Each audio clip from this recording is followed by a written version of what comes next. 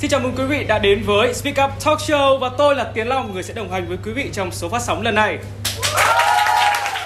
Ờ, Không biết là ngày hôm nay thì ờ, sẽ có vị khách mời nào ghé thăm trường quay của Speak Up Talk Show đây Nhưng mà chương trình thì có một vài gợi ý như sau Họ là những người đã để lại những thước phim đẹp giống như những con thiên nga trong vở kịch của Tchaikovsky và mang tới nguồn cảm hứng như anh thanh niên trong tác phẩm Lặng lẽ Sava đã truyền cho chúng ta. Và không để quý vị phải chờ đợi lâu hơn nữa, xin được chào đón 197 Vlog. Tiên thì uh, cho phép uh, Speak Up Talk Show được gửi lời cảm ơn đến hai anh và không biết là uh, anh có thể gửi một lời uh, chào ngắn gọn đến quý vị khán giả không ạ? Uh, xin chào tất cả các khán giả có mặt ở đây ngày hôm nay Bọn mình là 1977 Vlog, Vlog Mình là Trung Anh, đây là Việt Anh Rất vui được uh, tham gia chương trình và gặp gỡ bạn để chúng ta có thể nói về những câu chuyện vui vẻ trong cuộc sống. Một trong những cái câu chuyện mà mọi người uh, nhắc đến nhiều nhất trong uh, 2 năm trở lại đây nó nằm trong bức ảnh. Này.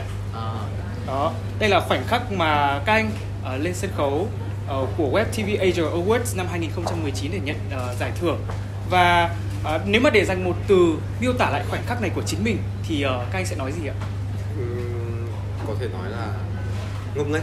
Ngốc nghếch vậy ờ, Hồn còn anh? nhiên. hồn nhiên. Hồn nhiên và ngốc nghếch là cảm xúc của hai anh khi mà nhắc lại khoảnh khắc này của mình cách đây gần 2 năm về trước. Ờ, thế nhưng mà có một điều mà quý vị khán giả ấn tượng đó là bộ trang phục này đây. Ừm.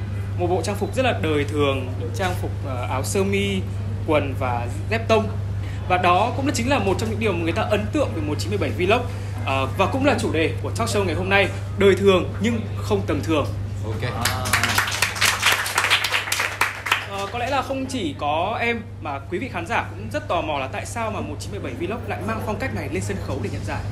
Ờ, thật ra thì lúc đầu ờ, bọn anh có nhận được lời mời và bên đó có nói với anh là uh, các em hãy uh, mặc những cái bộ mà của em diễn lên uh, sân khấu và hoặc là đến để tham dự cái event đấy.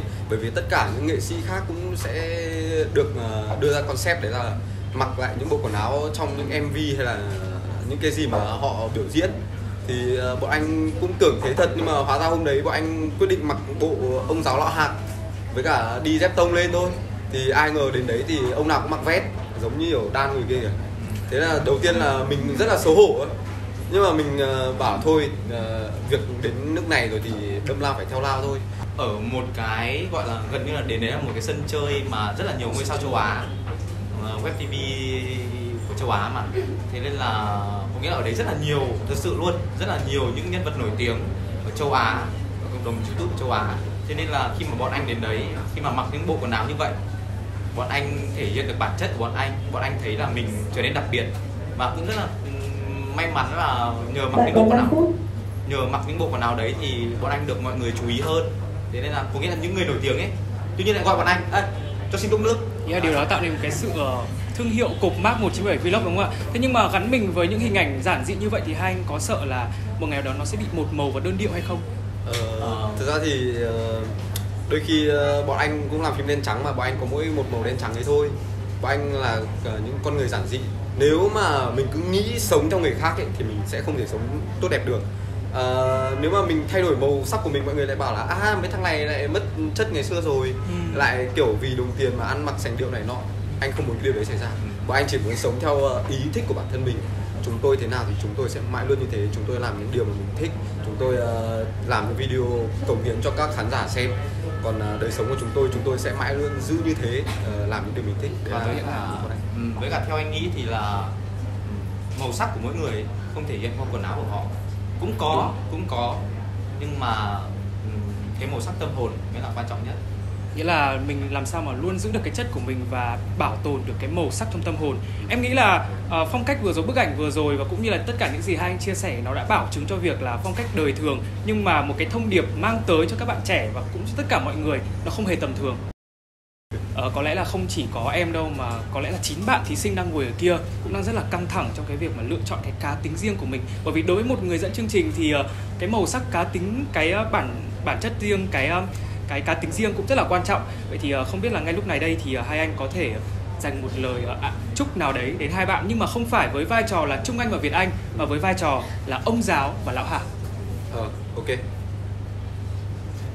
Ờ, tôi cũng chỉ có thể khuyên các bạn rằng hãy luôn tin tưởng vào chính bản thân mình. Hãy Ờ. uh, luôn giữ cái sự nhiệt huyết trong bản thân. Hãy luôn luôn luôn yêu nghề và làm những điều mình muốn thì chắc chắn các bạn sẽ thành công. Còn tôi cũng chỉ mong các bạn MC ở đây dẫn dắt chương trình bằng nụ cười và dẫn dắt mọi người bằng giọng nói đấy sẽ là vũ khí đắc lực ấy, tăng 1.000 máu trong đêm chung kết luôn à, và những lời chia sẻ cũng như là những lời chúc vừa rồi của 197 Vlog cũng đã khép lại số Speak Up Talk Show ngày hôm nay. Cảm ơn quý vị đã quan tâm theo dõi và xin gặp gặp lại trong những số phát sóng tiếp theo.